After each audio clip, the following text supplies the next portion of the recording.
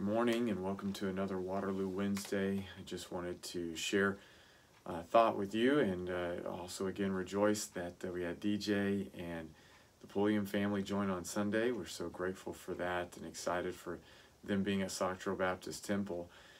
Had another thought this week that I just wanted to use as an encouragement uh, to our church members.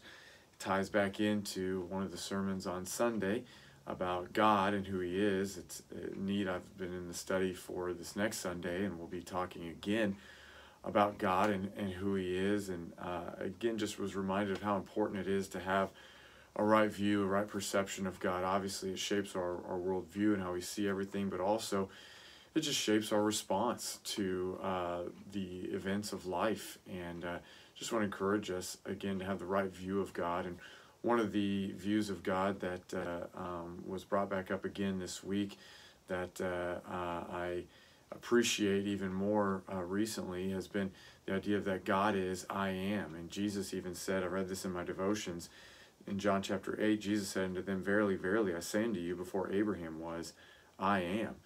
And that phrase I am ties back into when uh, God was speaking to Moses in the burning bush and tell, told him to go tell him, I am sent you. I am that I am.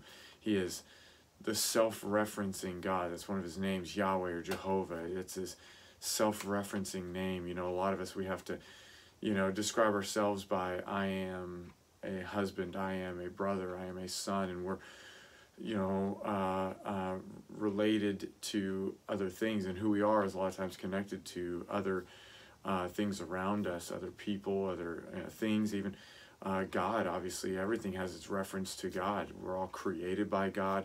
I am a creation of God. I am created in the image of God. Everything is related to Him, but God is self-referencing. He is the I am. He needs nothing to de to define Him. He is who He is, and uh, He was before everything was. He was and is and is to come, and there's just no changing Him, no changing that fact. And that just reminded me again of just how He needs nothing. You know, I need so much, and I rely so much on God and on other things, you know, to, for my existence, for my joy, my my everything, you know. But yet God, He needs nothing. He is self-referencing. He is self-sustaining. He is uh, He is who He is, and uh, we need Him, and He needs nothing else. And that just is again a great reminder. You know, a lot of times when we uh, look at our world, we can see the, the the problems, and we can get fearful. We can realize just how much out of control we are, but it's helpful to see who God is because it puts everything in back back in perspective that He is in control of all things, that uh, He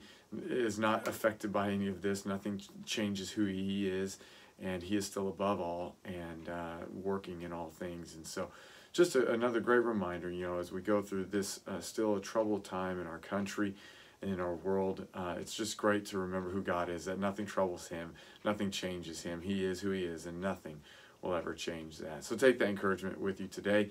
Let that affect your worry, your fear, everything else, and let that dissipate uh, as we see who God is. Lord bless you today.